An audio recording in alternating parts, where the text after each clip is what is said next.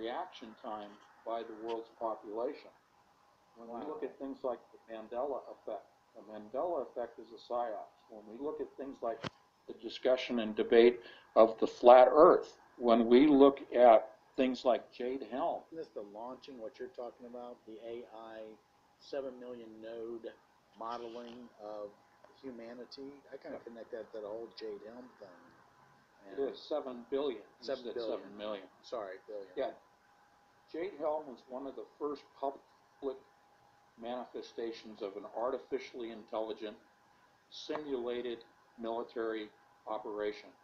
And the purpose of this was to test the psychological response by people around the world, not just in the United States, but how people would respond to a military operation like this.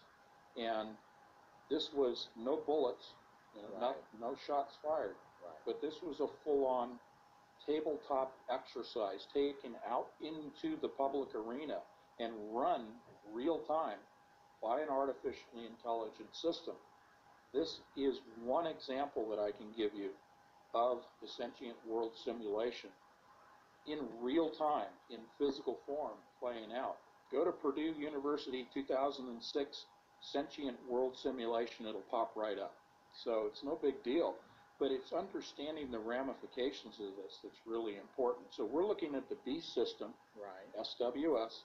We're looking at the computer system that will be able to control every person on the planet, including, as it says in Scripture, the ability to buy and sell real time using the adiabatic quantum computer with now more than the equivalent processing power of 7 billion human brains. It's way beyond that. That was the model 2048. Yeah. Let me give people a tangible touch point.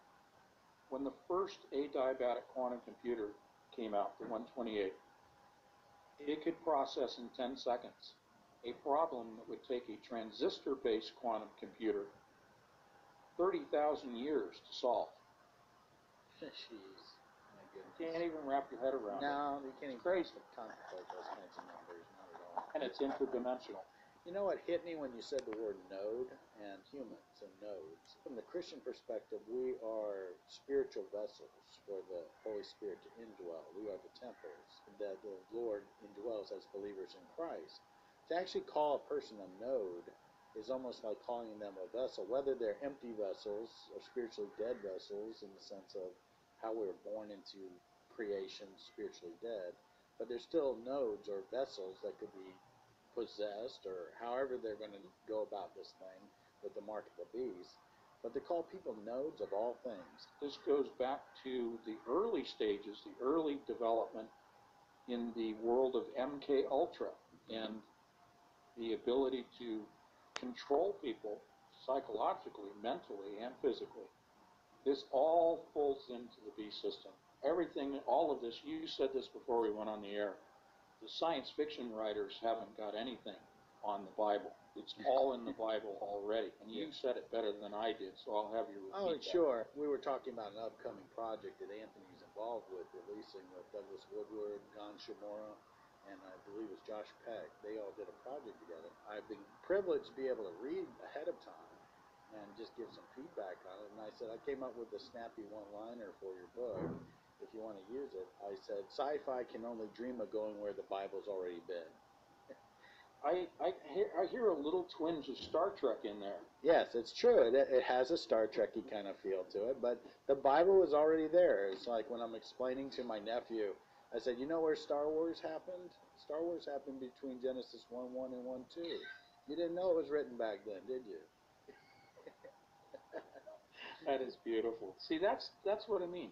You have a whole different area of research than I do, and Chris, you know, the trinity that we have going on oh, here is amazing. I just love when you bring stuff like that in. Is well, we're Chris gonna get Chris now. Yeah, she's back. Okay, Jump in. go ahead. 4096 basically is the capstone.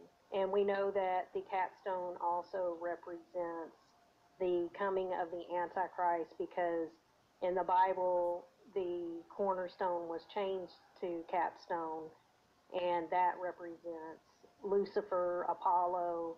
We know that Apollo is underneath CERN, and they want to resurrect him I do believe the Tower of Babel is the casket of Osiris. His head is in the casket. It is an alchemy machine with lapis lazuli and gold. It's harmonic, it's electric, and I do believe they are going to use that to raise the Antichrist. The Ganesh, which is translated to 4096, is the Om. 4096 is exactly Saturn, Venus, and Jupiter Trinity, which is the sun and the moon and the resurrected Saturn.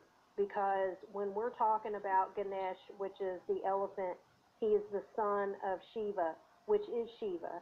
Because it's the same thing with Nimrod. When he's killed, then he's the resurrected Nimrod as Tammuz, because Semiramis is the moon, Nimrod is the sun, Tammuz is the sun and the moon both. It's a split deity of male and female, sun and moon.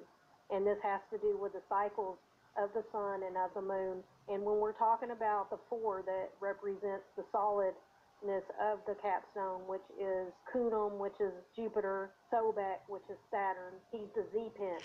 Isis, which is Venus, the female aspect of Saturn, and Horus, the sun, that is the resurrected Saturn as Ra.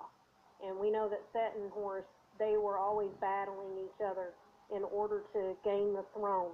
And so one represents the sun and one represents the moon.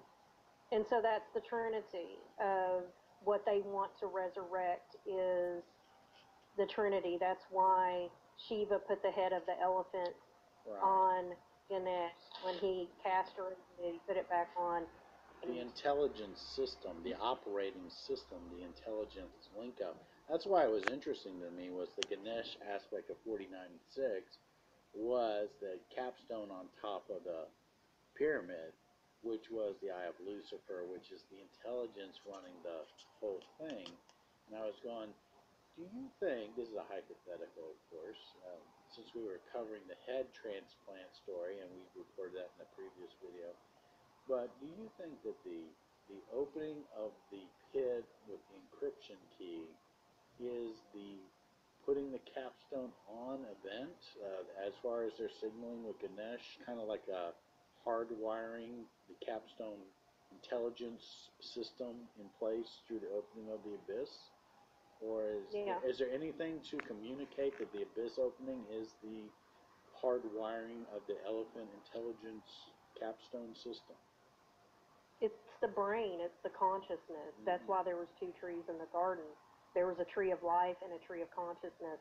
And those that are not listening to God, that are in the consciousness of Satan through hell and all of his demons and his deity, those are the ones that are going to be encrypted into the computer, into 4096. Now, those that are awake in Christ, they will not be encoded. They will not be lost forever into the abyss of Saturn and this cryptic key.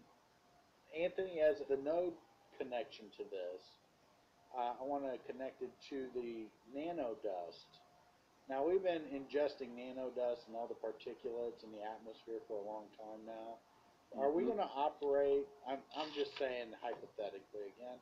Are we going to operate like some kind of crystalline receiver for this elephant head capstone system when it goes online? That we all become nodes or receivers of some sort? Yeah, I think you're right on the mark with that because that's, that's a purposeful pun. The mark. Um, this is the mark. Yeah, this is the mark of the beast system. Now we have free will. We'll start with that. We have the choice to either accept the mark or reject it. If we accept it, it means that the nanoparticles that are within all of our bodies right now that are in a dormant state, we have said we've given permission for the activation of those nanoparticles.